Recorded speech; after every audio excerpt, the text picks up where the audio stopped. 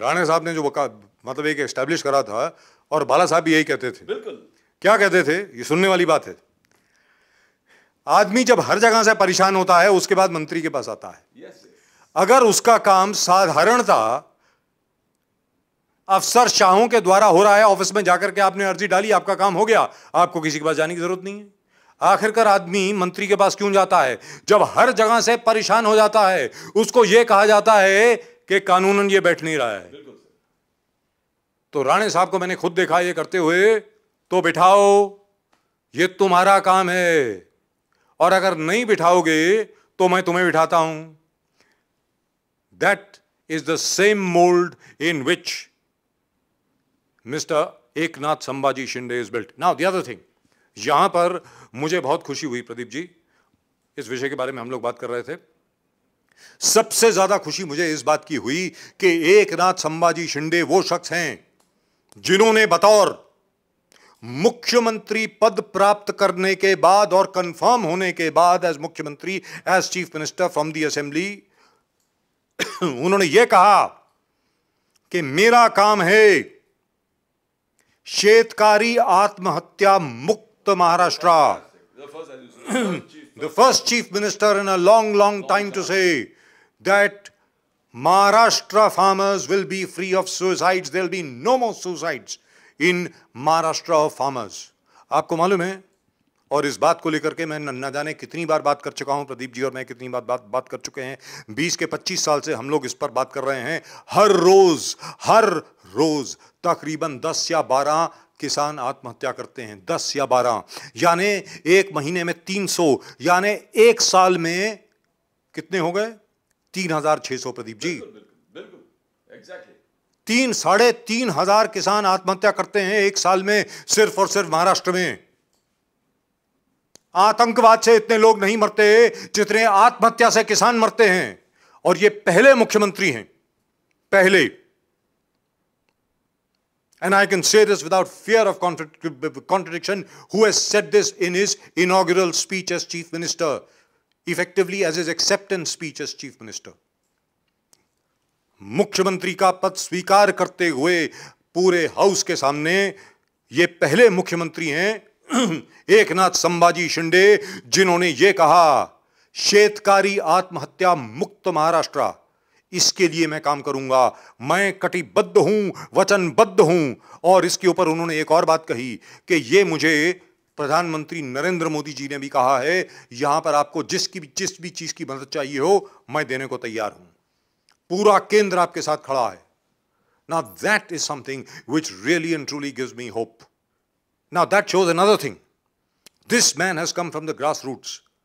ये ज़मीन से ऊपर आए हैं जो भी राजनीतिक उथल पुथल रही हो, जो भी राजनीतिक कैलकुलेशन रही हो राजनीति में सिर्फ़ राजनीतिक कैलकुलेशन ही होती है, उसके अलावा नहीं होती। लेकिन फिर भी इस बात को सबके सामने रखना, इस बात को प्रतिष्ठित करना, इस बात के ऊपर कटिबद्ध होना, इस बात के ऊपर वचन देना पूरे हाउस में सराहनीय है, काबिल तारीफ़ है।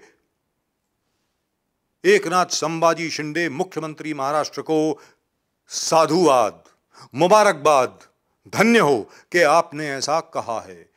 Pradeep Ji, if he is able to achieve even 15 to 20% of what he has said, I'll tell you, the whole face of Maharashtra will change. The whole face of Mumbai will change. If he is actually able to do this. But this is absolutely fantastic. As far as I'm concerned, it is really brilliant. Oh, and what a speech. I still can't get over this speech. This is out of the world. Fantastic.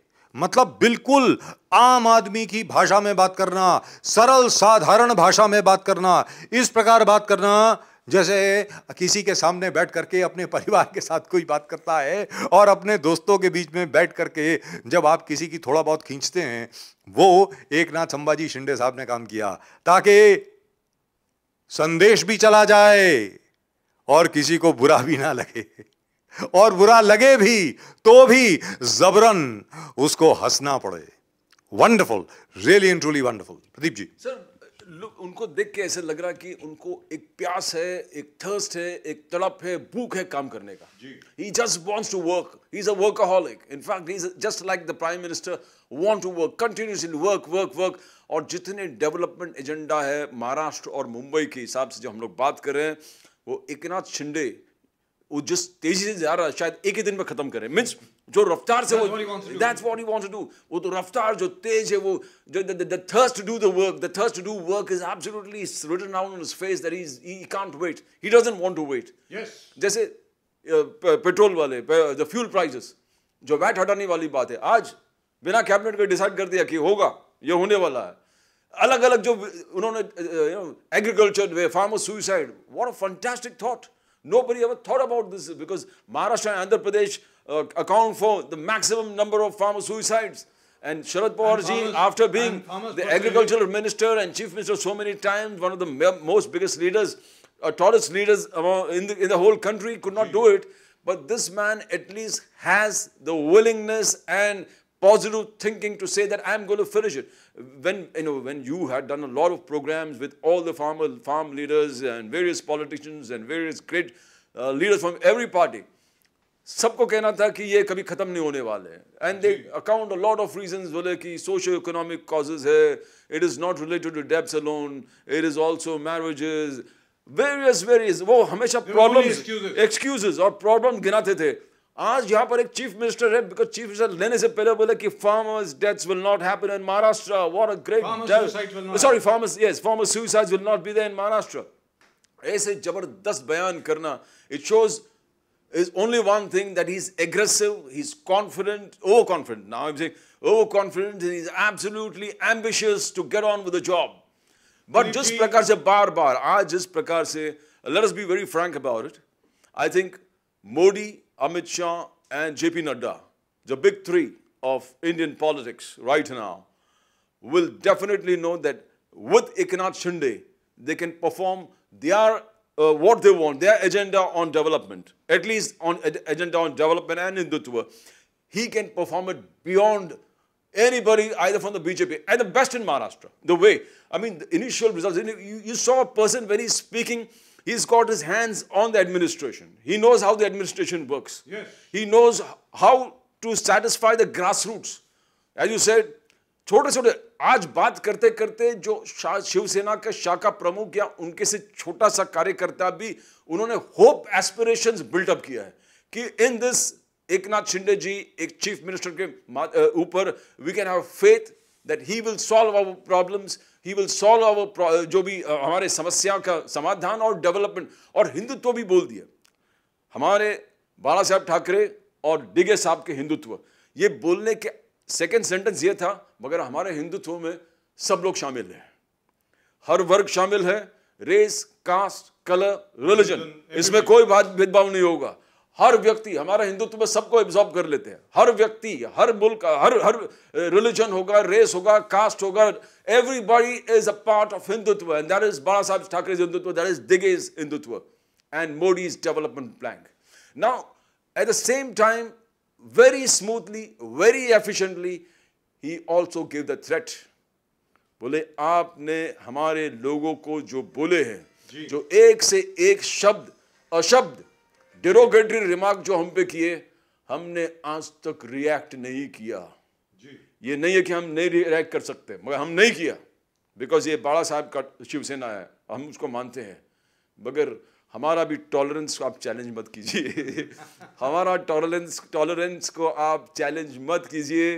ये आपको तकलीफ़ that shows the confidence and we had the other speakers like Gulab Gulab Rao you know substantiating what Eknath Shinde ji बोल रहे थे।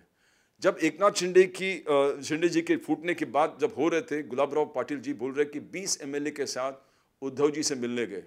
बोले, ये हो रहा है, उस चीज़ को रोकिए आप। ये हमारा बहुत सीनियर लीडर है और हमारे एम का भी यही तकलीफ़ है कि राष्ट्रवादी और कांग्रेस हमारा ओपोनेंट्स है और ये हमारा नेचुरल अलाय है बीजेपी। तो हमारे आने वाले चुनाव में भी हमको तकलीफ़ हो रहा है, निधि का तकलीफ़ हो रहा है, इनके पॉलिटिकल एम्बिशंस की वजह से हमको तकलीफ़ हो रहा है। तो most damaging thing Uddhav ji उनसे कहता है कि आपको भी जाना है तो जाइए। तो what is I mean they say we did everything to save the party we have done everything to save the party and even today what we are doing is we are shaving saving the Shiv Sena because it is not a natural alliance Jayant Patil his got ambition so M L A Congress has got another ambition Sao MLA. जाएँगे कहा? तो सब शिवसेना को कदम खराब करेंगे कदम करेंगे। और बहुत अच्छा एजेंडा उसने बोला कि Savarkar is revered in Maharashtra Savarkar हर महाराष्ट्र के दिल से जुड़ा हुआ है। उसको आप आइडेंटिटी को निकाल नहीं सकते उसको डैमेज नहीं कर सकते। मगर हम हम हमने यहाँ देखा कि सावरकर पे आलोचना किया जा रहा है। डेरोगेटरी रिमार्क पास किया जा रहा है।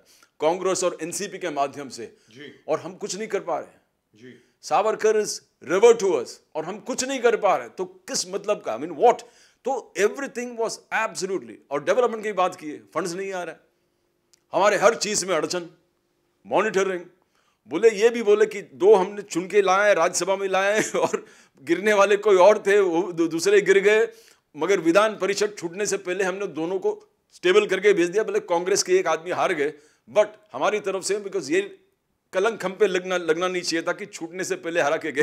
तो बोले और बोले कि हम पे संरक्षण। तड़ी जिस प्रकार से नाकाबंदी सब जगह करके रखा था। और एंड ना this this is Bala Sahib Thackeray used to connect to the uh, crowd out on the streets कि हम बाला साहब ठाकरे और डिगे साहब के शिवसैनिक है ऐसे कितने नाकाबंदी हमने देखे हैं। और ऐसे नाकाबंदी से कैसे निकलना हम तो वहीं से सीखे हैं absolutely fantastic it had everything for every segment of the society it was fantastic speech and the confidence level and the ambition that he depicted and on the first day itself the way he spoke i don't think uh, Mr. Modi, the big three, Mr. Modi, Amit Shah, JP Nadda, will ever require Fadnavis to do the jobs. well, which means there's a lot, there are a lot of problems for Mr. Fadnavis himself. Yes, yes, yes. Now, now, now, the only thing is, the, the, the only thing which, which will now, that, that, that will now have to be watched is the allocation of portfolios. विभाग का वितरण किस प्रकार होगा कैसे होगा खैर वो बात की बात है एक या दो दिन में वो भी हो जाएगा they'll work it out I think mister Modi और mister Amit Shah will intervene I think finally it it'll all get done. Now, now the only other thing which which Mr. The, you know Eknath Shinde will now have to look out for is in terms of money supply, because the state is in deep debt. State का जो debt है वो बहुत yes, बड़ा है। exactly. और वो revenue कहाँ से रेज करेंगे किस प्रकार करेंगे? One way of course is what he has pointed out infrastructure projects को आप और ज़्यादा बढ़ावा दीजिए। हर जगह पे आप काम शुरू करवाइए।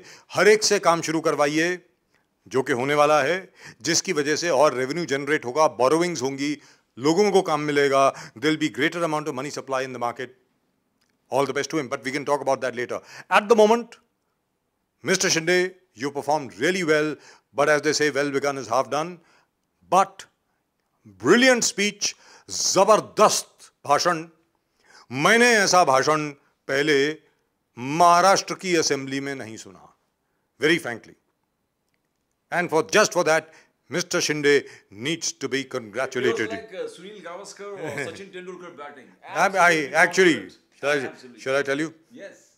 I, I beg to differ there, a little bit.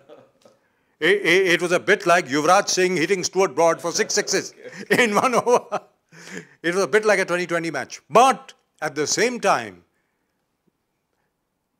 Pradeep Nambiar ji is also right because very quietly, very nicely, Mr. Shinde threw everybody out of the park effectively, even without them knowing that they are being hit out for a boundary. किसी को मालूम नहीं पड़ा और शिंदे साहब ने चौके छक्के मार दिए सेंचुरी बना दी डबल सेंचुरी बना दी और उन्होंने कहा है कि अब डबल सेंचुरी बनाएँगे ये कहा है उन्होंने कि अगली बार चुनाव के बाद 200 सीटें आएँगी और अगर 200 सीटें नहीं आई तो मैं गाँव चले जाऊँगा और किसानी करूँगा, यानी खेती करूँगा, ऐसा उन्होंने कहा है। But what that speech more than anything else for me is a statement of intent कहने का मतलब यह हुआ कि यह भाषण इरादा बताता है कि एक नाथ संभाजी शिंदे का इरादा क्या है। और जब उन्होंने देखा, उनके मुताबिक ऑब्वियसली जो उद्धव ठाकरे जी के साथ इस वक्त हैं, वो लोग इसके ऊपर आपत्ति जताएँगे और कहेंगे ये गलत है। लेकिन जैसा प्रदीप जी ने कहा, जब उन्होंने देखा कि राष्ट्रवादी कांग्रेस पार्टी और कांग्रेस पार्टी शिवसेना की ही ज़मीन को खा रही है तो उनके पास और कोई विकल्प नहीं था इसके अलावा। और जब उद्धव ठाकरे जी हमेशा सोनिया गांधी या शरद पवार जी के गुण गाएँगे तो उसके बाद और किसी के पास विकल्प क्या रह जाता है? हाँ चलते चलते एक छोटी सी बात हर एक कोई जो बोल रहा था कि ईडी की सरकार है ईडी की सरकार, उसके ऊपर देवेंद्र फडणवीस जी ने भी एक छोटा सा चौका मारी दिया ये एक नाथ और देवेंद्र की सरकार है, बिल्कुल ईडी की सरकार है that's it that's it. That's all we've got for you in tonight show on Nation Now. आज के नेशन नाउ में सिर्फ़ इतना ही एडवोकेट प्रदीप नाम्बियार जी और मैं राजीव के बजाज, हम दोनों की तरफ़ से आप सबको जय हिंद जय महाराष्ट्र जय भवानी जय शिवाजी।